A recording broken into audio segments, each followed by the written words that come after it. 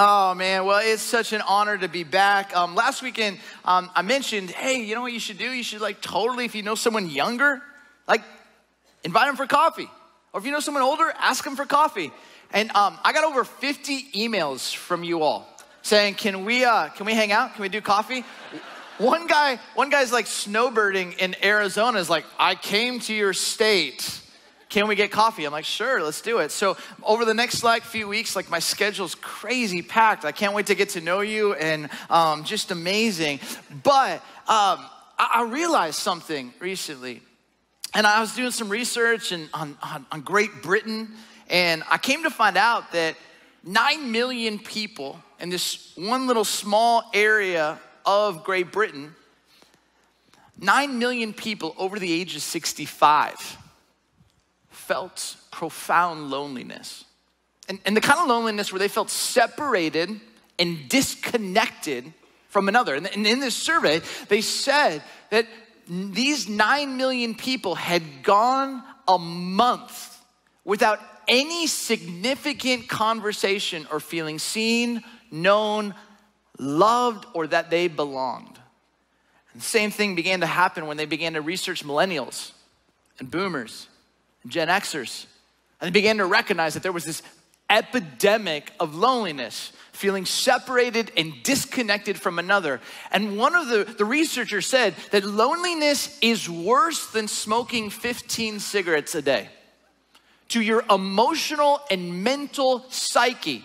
And so this is what the UK did. Brilliant. This is what the parliament did.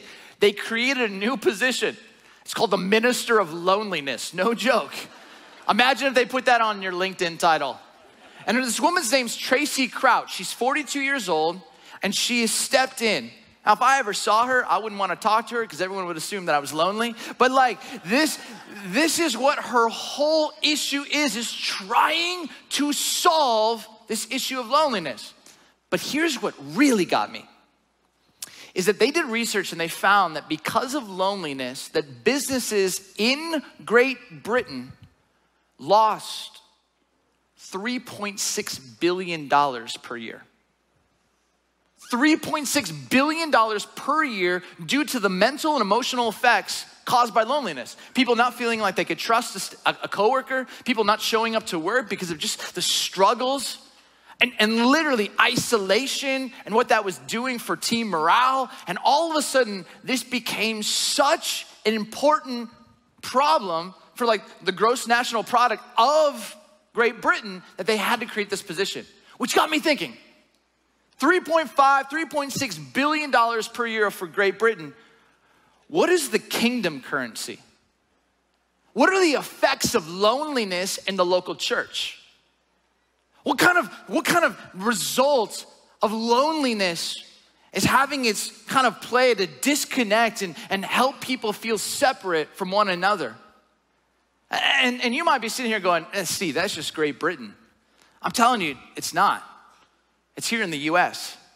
And even in Indianapolis, it ranks as the 21st most lonely city in the United States of America. Chicago, behind you. Philadelphia, behind you. Houston, behind you. Dallas, behind you. New York City, behind you. And I'm telling you what, the area in which we are like you all live in, many people are struggling with the profound ache and pain of feeling separate and disconnected from one another. Which leads me to an email that I got. A guy wrote me from Northview and he said, Hey man, um, your message last week didn't feel like you. Which I responded, well, Tell me more. And he said, Every time you teach at Northview, you talk about vines and trees, and you had no trees. And so for you at Comcast, Comcast.com, this is for you. Now, um, I want to tell you one of my favorite cities in the planet is Santa Cruz, California. It's a quirky city. It's on the coast, and like you can surf, and there's this place called the Hook that leads into Steamer Lane. Amazing, amazing waves. But then you drive a mile up from the beach and you are at John Muir Redwood Forest. And I don't know about you, if you've ever been around the redwoods, they're incredible.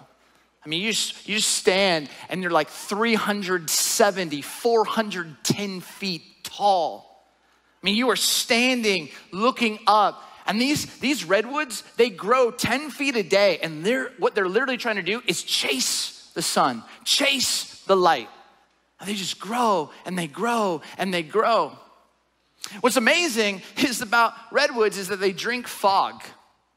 They grow, and in Santa Cruz, because of all of that fog that comes off the coast, these trees are growing and their leaves are able to drink its fog. At the trunk of a redwood, there is 8,000 gallons of water. I mean, you talk about a savings account. Whenever a drought comes, and California is known to have them, redwoods have an amazing savings account. But the crazy piece is, is when you walk in a redwood forest, it's so quiet because the bark absorbs sound. All of the noise, it just absorbs it.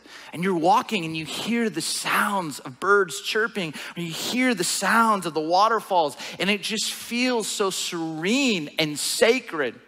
What's amazing too is about the bark of a redwood. Did you know that redwoods are fire resistant? There could be a, a, a, wildfire burning through California. It comes into the redwoods, and literally there is a resin that's within this bark that is in fire extinguishers to put out fires. Redwoods don't struggle from disease. A lot of Midwest trees right now have been hurt by these beetles, and they're literally just attacking trees. They literally can't bite through this bark, and they just move on. So it's fire resistant, it's disease resistant. It absorbs the noise. It's like creates this serene ability. It, it, it, can survive literally through drought. It actually can survive through flooding. I mean, these redwoods are unbelievable. If, if there's someone who loves construction, every builder will tell you cedar and redwood, the best kind of wood. But what's so amazing to me about redwoods is you'd think a tree that is 370, 410 feet tall, you'd think their roots would go down a couple hundred feet. But they only go down 9 to 12 feet. But what's amazing is they go out 100 feet, out 100 feet, and they find other redwoods and they literally interlock with one another. And scientists have been studying redwoods recently, and they began to recognize that redwoods are growing, growing, growing, trying to chase the light, drink the fog, and then all of a sudden they realize that one of their redwoods in their family are sick. So a signal goes out. And all the redwoods stop kind of growing and chasing the light, and they send nutrients and water to that sick redwood tree. See, in the UK, people don't talk to each other. But in Santa Cruz, California, redwoods talk to each other. And what's so amazing to me is these scientists are recognizing that, oh my goodness, these redwoods are communicating because they are interlocked with one another. A couple hundred years ago, uh, in this scientific journal in the UK, this one woman wrote that, like, when you planted a redwood by itself, the roots only went nine to 10 feet. So when the winds came or the storms came, it just toppled over. But then they said, funny thing, when you literally plant them with more redwoods, they can endure any storm. And what's amazing to me is I think that there are many of us that are trying to do this life alone. And the storms are coming. And we're facing these, these battles facing this struggle, we're facing trauma, we're facing these difficult days, and we're just getting just toppled and trampled on. And I think that there's something so powerful about redwoods is they're a picture to me of what the church, the local church is supposed to be. See, in, in the New Testament, you'll see a word that's used again and again and again. And it's the word allelon, A-L-L-E-L-O-N. And it's, it's where we get this phrase, one another. Jesus will tell us in John 13 to love allelon, love one another. You'll see Paul writing that we ought to honor one another. Peter says, respect each other. Respect one another. You'll see James talking about pray for one another. You'll see this word again and again confess with one another. Even in the Bible, it tells you which NFL team you should root for when it says in Colossians to bear with one another. And this is what we're supposed to be. We're supposed to have all of these one another's in our life, that our lives ought to be so interconnected. That we should be like kind of the antidote for loneliness. And we should be this forest.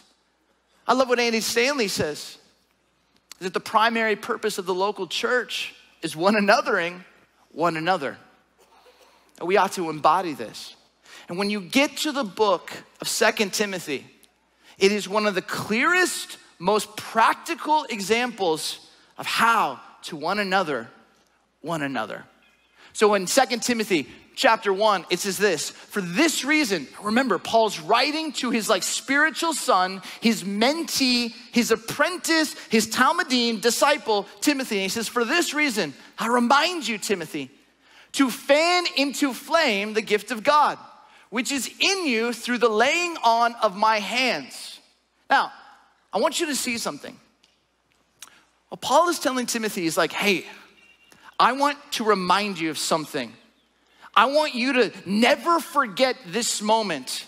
Because if you're like me, it's really, really easy to forget the things you ought to remember and to remember the things you ought to forget. And what's so powerful to me is that Paul is saying, hey, Timothy, in this moment, a whole bunch of people laid hands on you. They gave you and they told you your spiritual gift. He goes, I wanna remind you, but here, you've got a responsibility. And your responsibility is to fan that gift into flame. Your responsibility is to keep that gift white hot. And for some of us in this room, we don't know our spiritual gift. For some of us in this room, if we're really, really honest, we haven't even worked on our spiritual gift for years. And Paul, I think, would tell every one of us hey, can I remind you? God didn't just save you. God didn't just rescue you. God didn't just redeem you. God didn't just give you eternity because of what his son did. He also gave you a spiritual gift. So, what are you doing with it? What are you doing with it? I, love as I travel, I'm coming to realize that every culture, every region of the US has some amazing parts about it, and then every place just has some oddities some kind of peculiar parts to it. I would tell you this about Chicago, one of my favorite cities in the world, that happens to be, in my opinion, one of the most passive aggressive cities. I remember I would be teaching, I'd get done with the teach, and someone would stop me and say, Hey, great sermon. Which I would start to say thank you, but before I could say thank you, that person would just look at me and say, You've gotten so much better since when you first began. Which I'm like, Okay, thanks. And the person behind them says, Hey, Steve, I just want to tell you that was a great message. And right before I'm about to say thank you, they go, When you first began, I didn't know if I liked you, but you're growing on me. I don't know what I'm supposed to do with that. Why can't you just give an encouraging word and walk away? Why do you have to just passively aggressively attack my soul? And so I started thinking about this. And one day I'm like flipping through the scriptures and I come across what Paul writes to Timothy in First Timothy. And he says, Command and teach these things. And a verse that many of us are familiar if we ever went to youth group don't let anyone look down on you because you were young, but set an example for the believers in speech, in conduct, in love, in faith, and in purity. But this is where we usually stop. But I want you to see what Paul wants Timothy to hold on to. He says, Until I come, Devote yourself to the public reading of Scripture, to preaching and to teaching. Do not neglect your gift. Do not stop working at your craft and your character. Do not stop. Never neglect your gift, which was given to you through prophecy when the body of elders laid their hands on you. And hear this. Oh man, it gets good. Be diligent in these matters. Give yourself wholly to them so that everyone may see your progress. Watch your life and doctrine closely, persevere in them, because if you do, you will save both yourself and your hearers. So I found myself standing in line, and people came up to me and said, Man, you've gotten so much better. And I began to recognize, thanks be to God. Because in a way, I hope in five years I'm a better preacher and teacher and pastor than I am today. And I hope in 15 years I'm a better preacher and teacher and pastor than I was five years earlier. And here's what I need you to understand many of you in this room, I think you might have neglected your gift. I think it might be something where you once were using it, but somehow life Somehow other things just got in the way, and that spiritual gift is just kind of collecting a little bit of dust. And I hope for every one of us, we would hear the words of Paul, this rabbi speaking to his disciple. You'd hear these words from my mouth, and you'd hear my heart saying, Please discover your gift. Please don't neglect your gift. And please use your gift and let people see you get better over time. For some of you, you might be sitting here and go like, oh, how do I learn about the gifts? I want to tell you that in the book of Corinthians and Romans, it kind of details what some of the gifts are. Romans says this For just as each of us has one body with many members, and these members or parts do not all have the same function, so in Christ, though many form one body and each member belongs to all the others. This is like saying like we literally belong to one another. We are like connected, interlocked with one another. Continues on. We have different spiritual gifts according to the grace given to each of us. If your gift is prophecy, it's like ability to see the future and see tomorrow and like allow people to get caught up in that vision, then prophesy in accordance with your faith. If it's serving, then serve. If it's teaching, then teach. If it is to encourage, then give encouragement. You all know what encouragement is. It's literally seeing the image of God in someone and calling it out and pointing them to who they were created to be. And in doing that, you're giving them the courage to become who they were meant to be. If it's giving, then give generously. Some of you in this room, you know how to make a lot of money. You have that gift. And yet, you have this ability to literally give and bless others. And when you do it, somehow you feel the thrill of God using you. If it's to lead, do it diligently. If it's to show mercy, do it cheerfully. Do you know your gift? Have you neglected your gift? Are you putting your gift into practice and are people seeing you get better at your gift? And if you don't know what your gift is, let me just tell you every spiritual gift leads people to Jesus. If you have the gift of leadership, what is that? That means you take the values of heaven and you literally lead people to experience if Christ, if Jesus was leading your family, leading your business, leading on your team. See, every spiritual gift points people to Jesus. Uh, if you have the gift of mercy, what is that? You're the hands and feet of Jesus wherever you go. If you have the gift of like hospitality, you are creating safe and secure environments, whether at your home, whether in your in the marketplace, whether in your school, so that what? So that people can experience Jesus. If you have the gift of administration, there is a special place in heaven for you. That means in a world of chaos, you bring order and you help focus everyone on their task so that more and more people can experience who? Jesus. Every spiritual gift leads to Jesus, and we must find it. We must discover it. We must never neglect it. And we must be putting it into practice so that as one body, we are stronger for His glory. Now, if you don't know your spiritual gift, can I tell you? There's this amazing course on February 29th at all of our campuses. We're doing this. It's called SHAPE. And literally, S, it's an acronym, and S stands for spiritual gift, H is your heart, a is your abilities, P is your personality, E is your experience. And when we put all of that together, you're gonna see how you are wired and, and you're gonna learn about your spiritual gifts and opportunities for you to kind of deploy those gifts. And all you need to do is you can take out your phone if you wanna learn more, you can text next to 867 5309. You just text 867 5309 and Jenny will respond. No, it's 85379. But here's, here's what I want. Please Please do not miss this. Because if you miss this, what ends up suffering is we all suffer because we belong to each other. We belong to each other. But we go back to that second Timothy passage, and I don't know about you, but sometimes I read the scriptures, and when I'm reading it, there's I see something that I, I'm like, what does it really mean? What does it really look like? And Paul says, hey, fan in the flame the gift of God, which is in you through the laying on of my hands. Like, what? What does this mean? And, and if, you, if you're familiar with the Hebrew scriptures or the Old Testament, and you know that a father would give a blessing to a son or a daughter.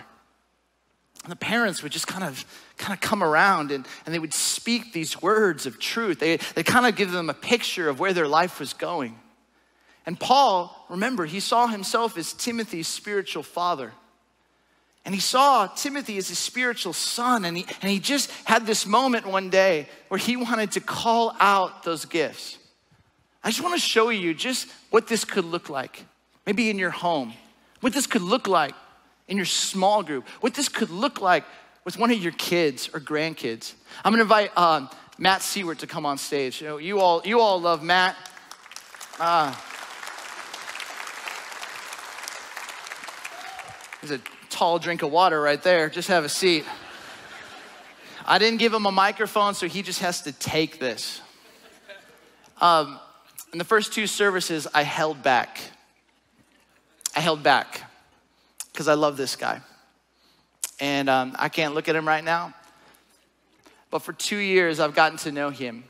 And before I ever knew him, I knew of his mom. His mom's Lynn Seward. She's an amazing woman. You ever heard her sing? Bring you to your knees. And truth be told, uh, I've been to these funerals, and the person that they would want to sing was his mom. And she would just sing these songs. And then I found myself coming to Northview, and, and one day this guy walks up and goes, Oh, you might know my mom. It's Lynn Seward. And I was like, What? And I found myself just getting to know this guy. And I don't know what you think of him. Six foot 11, plays a kiddie guitar. But I'll tell you who this guy is. And I'm not in any way, please, please, please, please, please. I'm not in any way trying to be a spiritual father. I'm not in any way trying to, to, to pretend I'm anyone in this man's life but a friend. But I want you to see something. Because in all of my years, I've never heard someone say, Whatever you do, do not bless me. I've never heard a kid say, Dad, do not speak those words of love and truth about who you think I am. I've never heard that. I've never heard a daughter say, Stop, stop affirming who God made me to be. I've never heard that. And I, truth be told, as parents, we've been taught to be protectors and providers. But I want you to know when you look at this book, it also says that you are pastors and prophets. Your job isn't just to protect and provide for them, but your job is to help give them a, na- a, map to kind of navigate through the complexities of culture. But then there's a prophetic side where you literally can lay a hand and give a blessing and call out the good. And I, I imagine that Timothy, just like many of us, was going through a season where he just doubted himself. I'm a mamzer, like I talked about last week. I have nothing to offer. And Paul one day said, You know what? Forget that.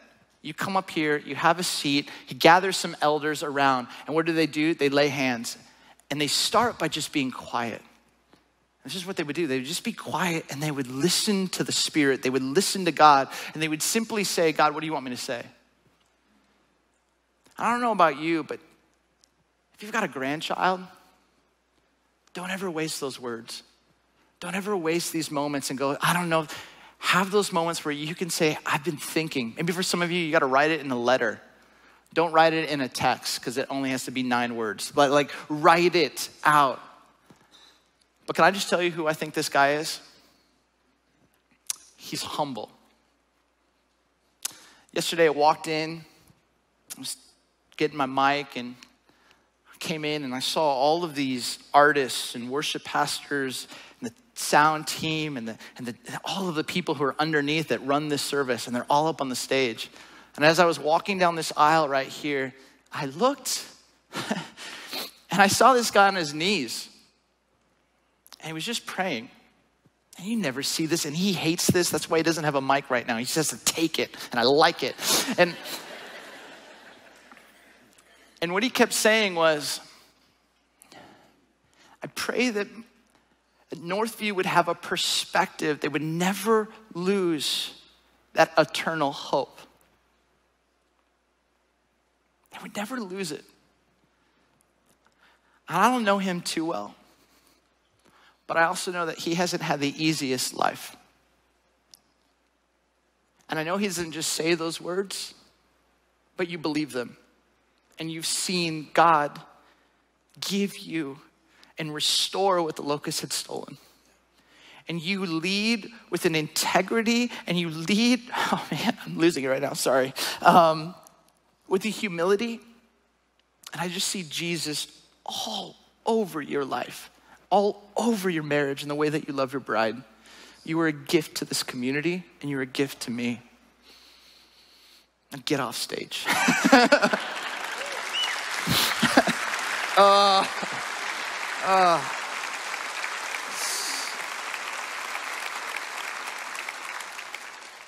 I mean, can you just imagine if we did that for our kids? Can you just imagine if we did that for our grandkids? Can you imagine if we did that for one another? Would people feel alone? Would they feel separate? Would they feel disconnected? And sometimes we hold those words like, I don't know how to say it. I don't know how to do that but I believe everything I said. You go back to this verse and it's so amazing because he's like, hey, it's your responsibility, man. You got to fan into flame that gift which is in you through the laying on of my hands. I believe what I spoke into your life, Timothy. Now, for the spirit God gave us does not make us timid. No more timid Timothy. No more timidity, Timothy. Because I need you to understand that the spirit God gave you was of power, love, and self discipline. I mean, when you just think about this, what Paul is saying to this guy is I know everything in you wants you to go backwards in your story, and you're allowing those lies to reign supreme, and it's holding your life in check until you honor a new truth. And here's the new truth that God did not make you to be timid, but God gave you power God gave you love. God gave you self discipline. And in Greek, it's these words, dunameos. If you turn that U to a Y, it's where you get the word dynamite. God gave you a power that is dynamic. It's not human, like kind of mustard. This is of God.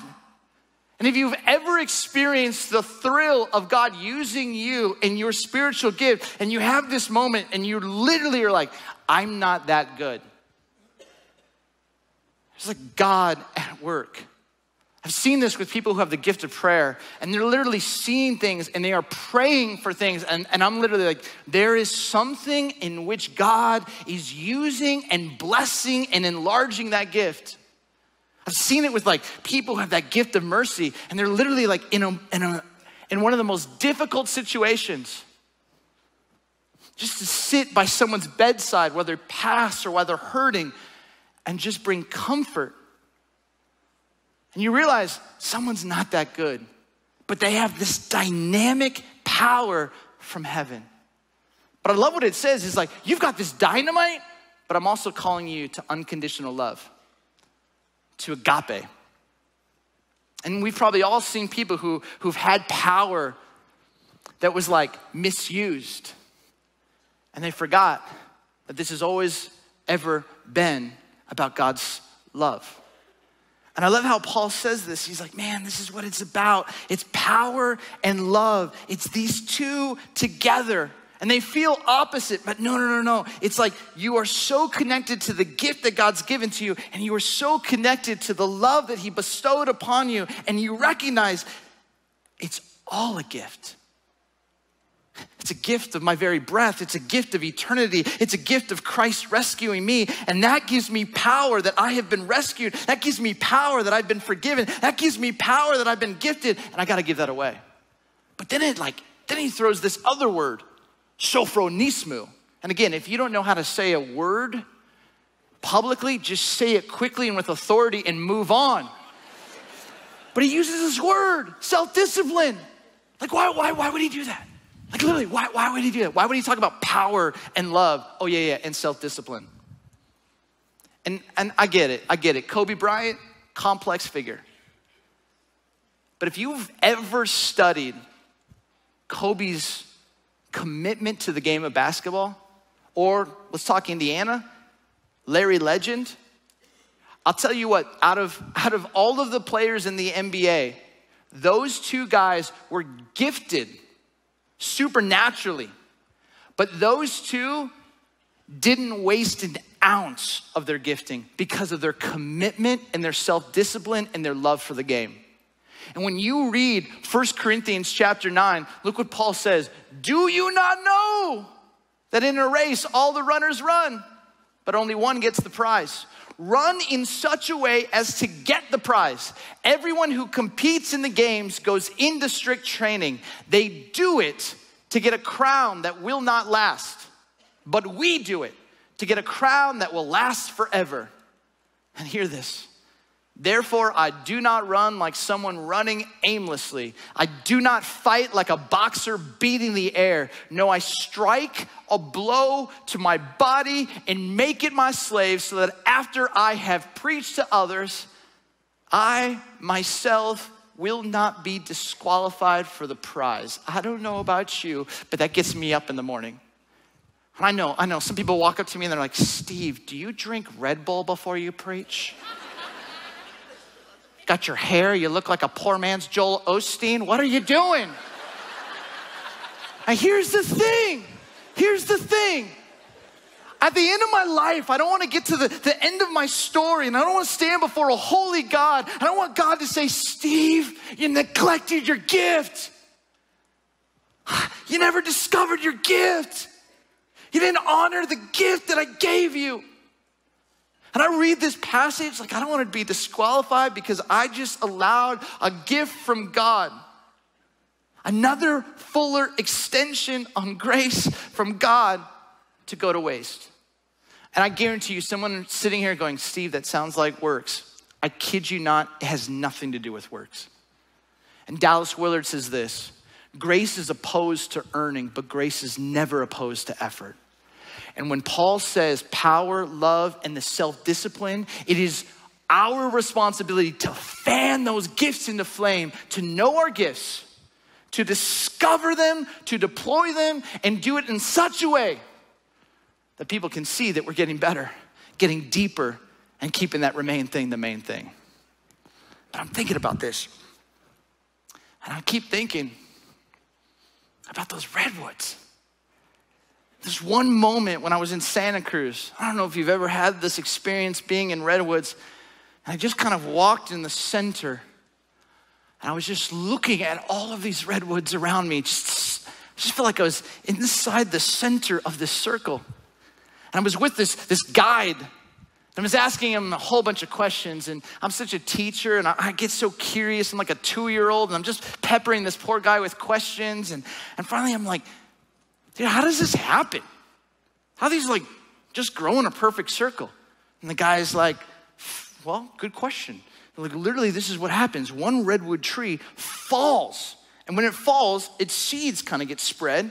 But because its roots are interlocked and interconnected together, all of the other redwoods around it want to keep sending it nutrients. And then what ends up happening is they send nutrients, and then new life begins to grow out of this fallen tree. And it begins to kind of spread out. And then, fast forward a number of years, you have this family of trees that are growing around this tree that was once dead, but is now alive. And I, I literally was like, and he looks at me and goes, what, does that make you think? And I'm like, you know, you what that makes me think? It's the gospel.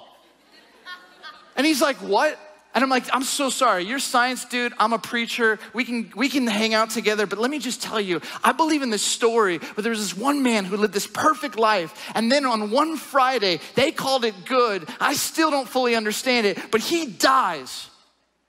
And he hangs on a tree and he is dead. And he takes all of our brokenness, all of our pain, all of our trauma, all of our abuse, all the things that we have done unto ourselves and unto others. He took it on the cross and everybody thought he was dead. But heaven was just getting started. And all of a sudden, the resurrection power from heaven began to come into this man. And on Easter Sunday, almost 2,000 years later, he wakes up and he is alive. And now, and now, what's amazing is we now call ourselves as this family that's in Christ, and we have like circled our stories and our lives and our gifts around Christ how you like them apples? And this guy like is just like looking at me. And he's like, he's like, that's that's fascinating. And I'm like, okay. And he goes, Do you know what scientists call this? And he's pointing up. I was like, No. He's like, We call it a cathedral. And I'm like, Are you kidding me? Because when you're there, it's as if like you're standing in holy ground, which has gotten me thinking. And here's what I'd love for you to do I'd love for you all to stand. Now everyone's like, what are we gonna do?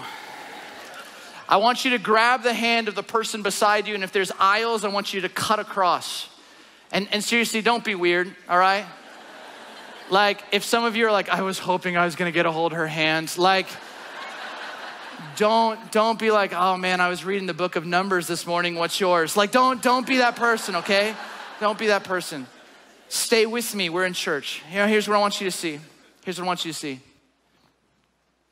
I just started thinking about this one tree that fell heaven just getting started new life and then i just started thinking about all the people in the greater indianapolis area who don't have this, who feel separated, disconnected.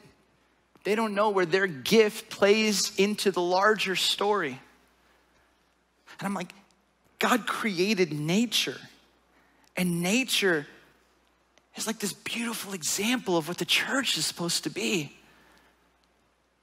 I want you to feel the hand of the person beside you. Don't squeeze it too hard, but I want you to feel and just, just, just hear these verses. We are called to be devoted to one another. We are called to spur a eilon one another on. We're called to pray for one another. We're called to confess to one another. We're called to honor one another. We're called to forgive one another. We're called to love one another. We are called to one another, for we belong to one another. And I just sat here. I said, man, if the local church could ever get this right, as people enter in, and if this is your first time, I'm sorry, we don't always hold hands like this, but but if like you walked in, I think you would begin to say, there is something different about this place in a world where I feel alone and separate and disconnected, now I feel like I have a place and I belong. And they would say something like, something is different. And in scientific language, they would say, well, it looks like a cathedral. What if we, Northview, could be more like Redwoods? And when one of our friends and brothers and parts are just feeling sick, we can give love, give grace, give peace, give truth. And when one of our friends just needs to be encouraged and motivated, we can just spur them on and we can give them honor. We can call out the best in them. Why? Because we belong to each other.